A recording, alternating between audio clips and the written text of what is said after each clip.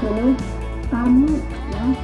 Dari UIN Kecamatan Tanah Batu dari Bayangkari Cabang Kabupaten Sukabumi dari Dharma Wanita Pendidikan Desa Tanah Batu dan dari Desa Cibadak ada lagi dari PDK eh, Desa Cikata DWP Dinas Kesehatan.